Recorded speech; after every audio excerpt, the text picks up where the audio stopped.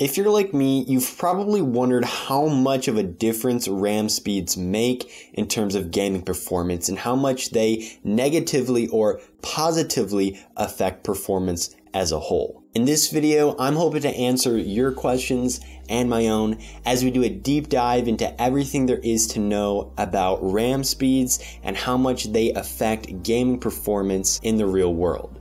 Let's get into it.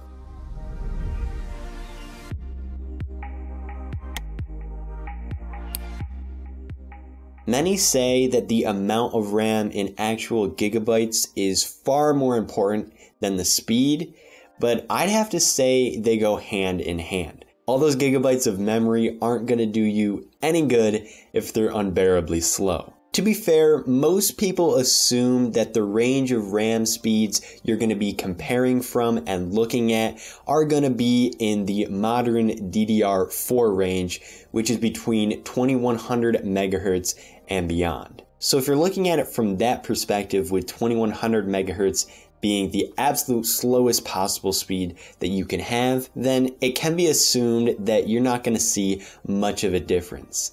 However, we'll have to find out if that actually stands true. In this day and age, 16 gigabytes of RAM at around 3000 megahertz is the recommended amount and speed, so that's what we're going to be using for this video.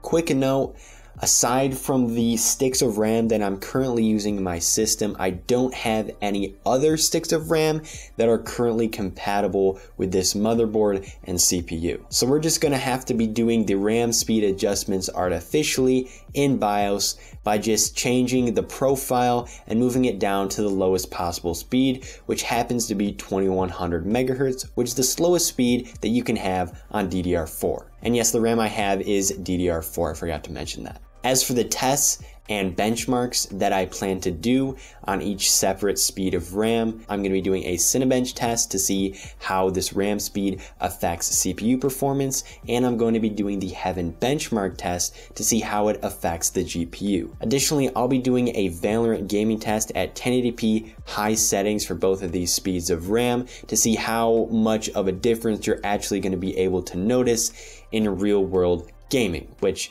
probably isn't going to be that much. All right. So I've magically run the test instantaneously, and now we're going to see what the results are.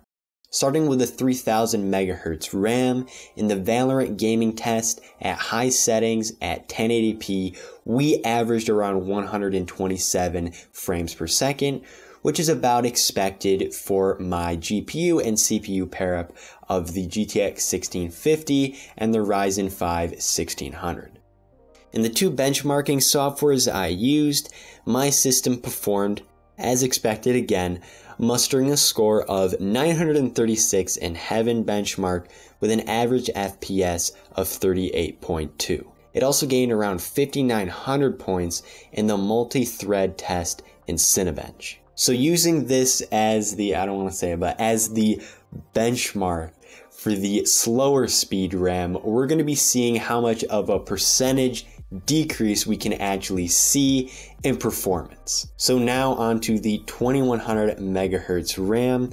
As it turns out, the average FPS in Valorant for this slower speed RAM is nearly identical to the higher speed RAM. We're getting an average of 123 FPS which to be honest, if you were to average the FPS out on two separate occasions using this PC with the same speed of RAM, that little bit of like 4 to 5 FPS difference isn't really to indicate that anything's changed. So whether we want to attribute that decrease in performance to the RAM or not. Moving on to the other benchmarks, we can clearly see that there is a noticeable difference in these. So in Cinebench, my system with the slower clocked RAM scored 5,853 points in the multi-thread test.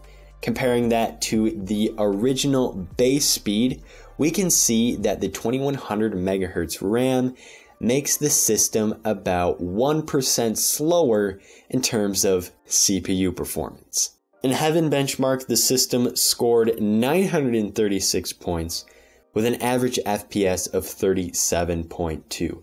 Again, comparing that to the original test that I have done, the slower RAM slows down or decreases the performance of the GPU and graphical performance by a total of 2.8%. What should we take away from these tests? Using this data, we can definitely see how this RAM speed affects different components in the PC differently. It definitely doesn't affect the CPU quite as much as the GPU, but both drop downs in performance aren't noticeable in the real world, which I expected, and they can really only be seen on paper. So within DDR4 or DDR5, I just remembered that's a thing now, you're not going to see any real difference and that means you shouldn't buy upgraded RAM just for the sake of buying RAM that has a higher speed. That doesn't mean, however, that you shouldn't upgrade the actual size of your memory because that does have very large implications on performance.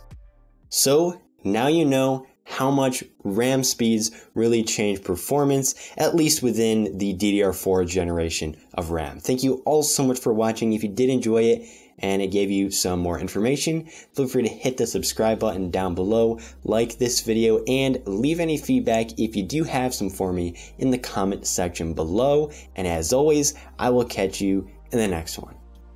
Peace.